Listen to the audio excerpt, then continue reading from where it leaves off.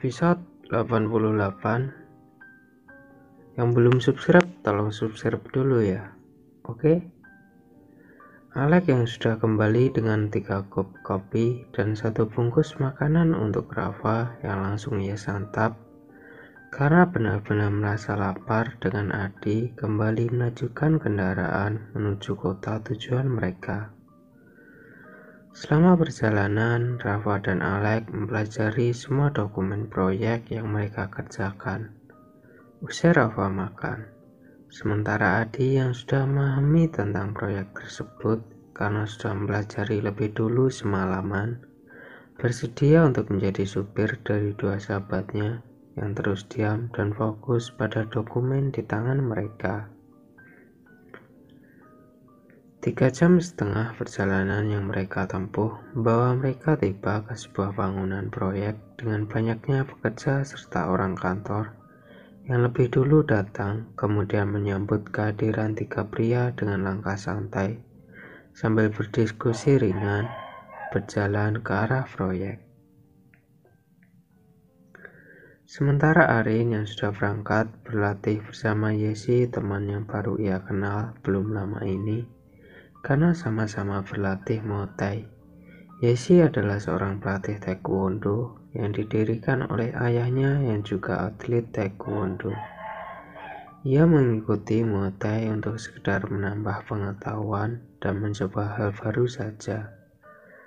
Rita yang kembali ke tempat orang tuanya di luar negeri atas keputusannya sendiri karena tak sanggup bertahan dengan Alek membuat Arin kesepian dan tak lagi mempunyai seorang sahabat baik.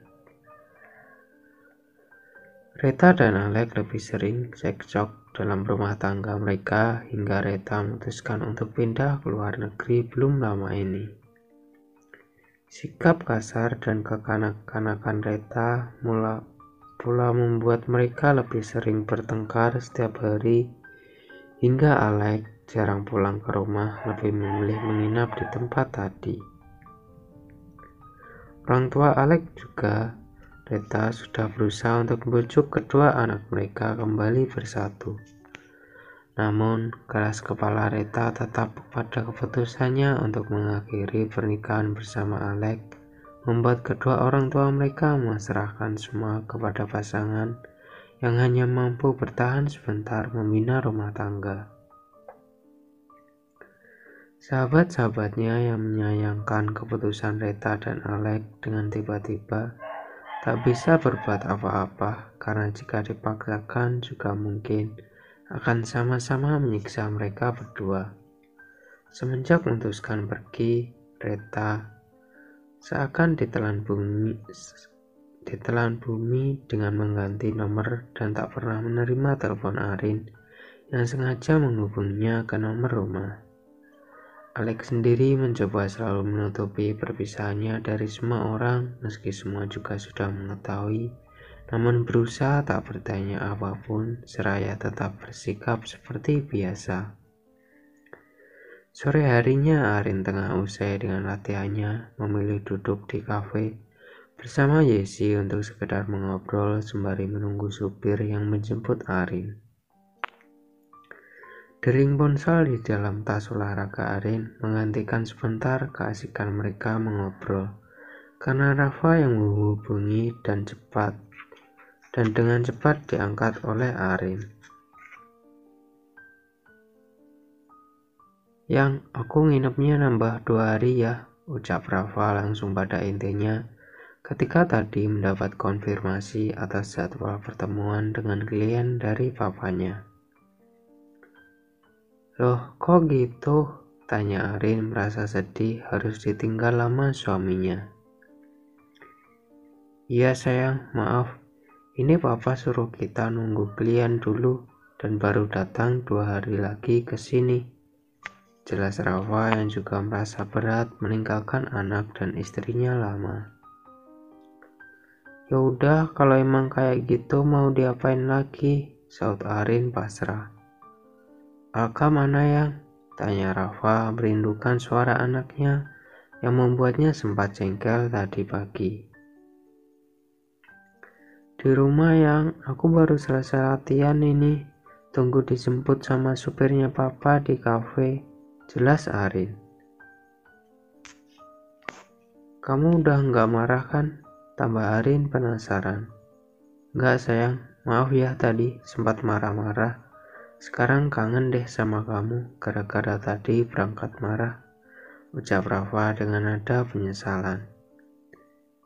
Cepat pulang sayang ya, aku juga kangen sama kamu, pengen lanjutin yang tadi. Saat Arin cengengesan bersama suaminya yang membalasnya cengengesan juga dari ujung sambungan telepon. Ya udah sayang, kamu cepat pulang ya. Nanti malam aku telepon lagi. Pungkas Rafa mengakhiri sambungan telepon karena harus bekerja, karena harus kembali bekerja. Arin menutup teleponnya dan kembali ke meja yang sempat ia tinggalkan untuk menerima telepon suaminya karena merasa tak enak jika harus terdengar oleh Yesi yang baru ia kenal. Supir yang sudah datang begitu Arin kembali maksanya untuk berpamitan pada Yesi dan secepatnya pulang untuk bertemu dengan Alka yang begitu ia rindukan meski hanya meninggalkan bocah lucu tersebut dalam hitungan jam saja.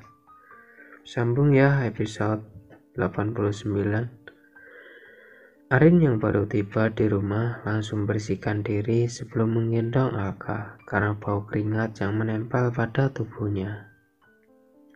Ia sengaja mempercepat acara mandinya agar bisa cepat-cepat bermain bersama putranya yang masih asik bercanda dengan neneknya di bawah. Alka rewel nggak mah? Tanya Arin yang sudah selesai dengan acara membersihkan diri dan langsung menghampiri Alka serta mamanya di ruang tengah. Enggak dong, cucu nenek baik banget, saut wanita dengan parutan kaos hijau tersebut sembari mencubit gemas Alka di atas pangkuannya.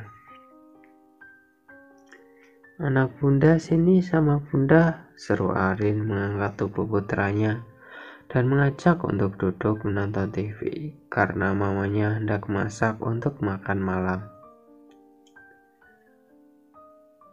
Telepon ayah yuk, tambah Arin meraih HP di kantong celana hotpantnya. Arin menyambungkan video call pada Rafa karena suaminya yang meminta untuk Arin segera menghubungi begitu ia tiba di rumah.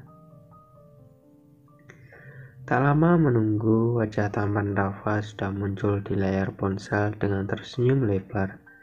Melihat tawa putra kesayangannya Rafa mengajak putranya bersandar melalui sambungan video call dan tertawa melihat kegirangan Alka sambil mendang-endang. Alka, mama sama papa di sini juga, teriak Adi dan Alek di samping Rafa, melambaikan tangan mereka pada bocah yang terus tertawa. Eh, itu ada mama sama papa juga ya? Seru Arin melambaikan tangan Alka kepada Adi dan Alek yang bergabung bersama Rafa di sebuah kamar hotel. Kalian tidur bertiga? Tanya Arin mendapati mereka merebahkan diri di atas tempat tidur.